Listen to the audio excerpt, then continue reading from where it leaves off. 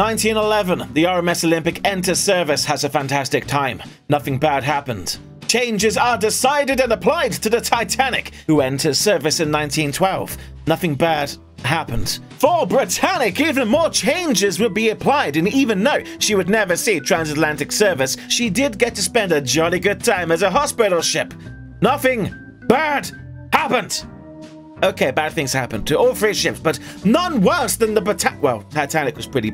Anyway, at no point was Britannic ever 100% built, so a conclusive list of every single change that she would have received cannot be 100% ascertained, but by looking at old drawings and documented documents, we can compile a list of noticeable differences between herself and her sisters. Let's begin. One of the most striking changes to Britannic has got to be the Gantry Davit lifeboat system. The idea is simple. Stack a complement of lifeboats on top of each other, and then with the Gantry Davit's long arms, pick up and deploy the boats over the side of the ship. Stacking the boats means we can safely have enough for all on board, whilst also maintaining open deck space. More so, due to the extra reach of the gantry davit, they could be used far longer in situations where the ship is listing heavily to one side, rendering traditional davits useless. Now, due to their size and weight, the gantry davits were to be motorized. To facilitate this, motor rooms were installed on the deck and are noticeable as the large boxed rooms seen between or to one side of the gantry davit's base. Additionally, again, due to the size and the weight, the boat deck itself had to be reinforced. This had a knock-on effect to the A-deck promenade windows, causing the pattern to change ever so slightly. It doesn't stop there. Britannic also saw her stern take a significant change with yet more gantry davits installed. As a result of this, the aft docking bridge is now one deck higher compared to that of Olympic and Titanic. There are many more changes to be found here at the stern, some of which we'll touch on a little later. But for one final major change, the aft well deck is being completely covered over, giving second class a lovely bit of open deck space to walk around, but also giving third class a lovely shelter deck. This change also resulted in the aft well deck cranes being moved from C deck up to B deck.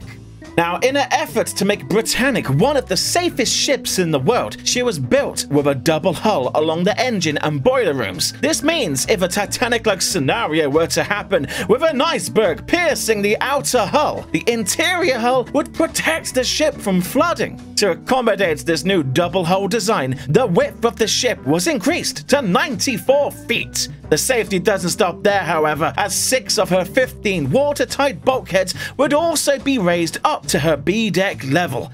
Next up, we're talking expansion joints. To keep things dead simple, an expansion joint is basically a cut in the ship that allows a superstructure to flex and bend during heavy seas. However, it was discovered that extreme stresses were being put upon the hull directly under where these expansion joints ended. With Britannic, in order to reduce the amount of stress on the hull, two more expansion joints were added, taking the total to four. By adding these new expansion joints, the stress on the hull was lowered and distributed across a wider area. And finally, just for fun, a compass has been added above the bridge. I'm sure they loved it. And so, with the general overview complete, let's step aboard the Britannic and take a look at some of the changes waiting to be found in her first class, starting with the Grand Staircase. Compared to Olympic and Titanic, rather a lot of changes, big and small, have been implemented. A super impressive organ has been added to the A-deck boat deck level, so large in fact, the walkway on the boat deck level has been completely removed. Upping the safety a little bit, the hand railings overlooking the five deck drop alongside the staircase now have a hump installed, making it harder than ever to tumble over. With Olympic and Titanic, the elevators only went as high as A deck. Not very handy if you were headed to the boat deck and the sheer thought taking the stairs is as desirable as watching The Room starring Johnny Wiseau. Well, Britannic's got you covered. Elevators now go to the boat deck. Rejoice! As a related side note, that also means the elevator gear room has been moved from the boat deck up to the deck house roof. The more you know. Stepping into the elevator and traveling down to the B deck level, stepping out of the doors, you were greeted by the passenger's mail room. I suppose if you have a letter to send, you would come here rather than the purser's office down on C deck. Returning back to the boat deck level, a children's playroom has been added, filling the void that was open deck space on Olympic and Titanic.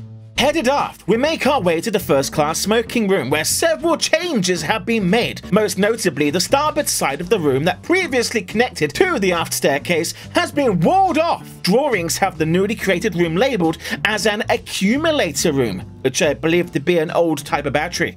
The four bay windows have been reduced down to two, with their lovely angled sides being flattened into boxy rectangles. Next, we make our way to the Parisian Café, or should I say rather, the lack of one. The À la carte restaurant seems so popular and successful, it has now expanded to the entire width of the ship, evicting the peaceful Parisian Café. I miss it already. And lastly, for the first class areas, we make our way to the swimming pool. Both Olympic and Titanic featured a swimming pool, but they were extremely utilitarian. They worked, but didn't exactly feel first class cosmetically. But that's a thing of the past, as on Britannic, the room has been lavishly decorated, making it far more fitting for the first class clientele. Using the room would now truly be a first class experience.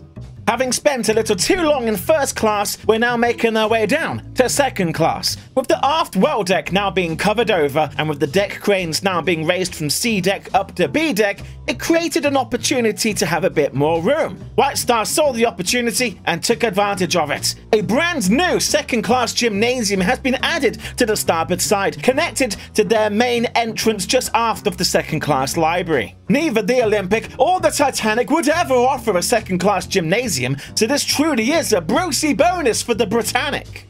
After our short-lived visit to second class, we're making our way down to third class as there's some interesting changes that I'd like to point out.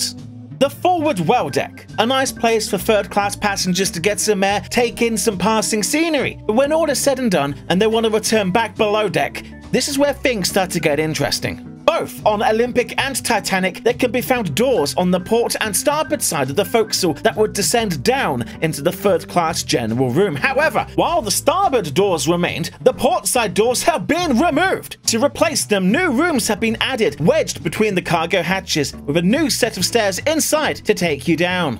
I'm not entirely sure what benefits this presents other than an absolutely fabulous windbreak.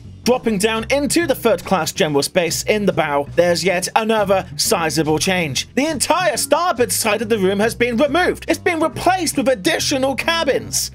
And lastly, for our third class visit, we make our way back to the stern. Previously, on Olympic and Titanic, one would find the third class smoking room on the port side of C deck, along with another general room adjacent on the starboard side. However, on Britannic, the smoking room has been moved. You will now find it up one deck on B deck in the middle of the deck. Take a shot every time I say deck.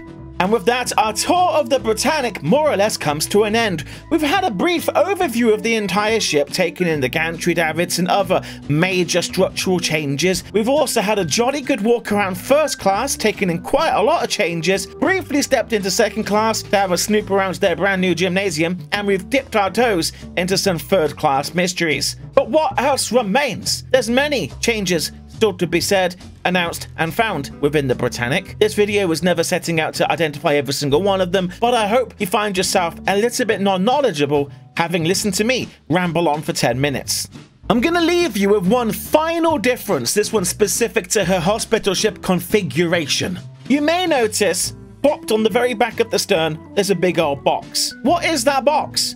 Well, that's a morgue. That's a big old freezer. It was a hospital ship, and hospitals from time to time happen to have dead people.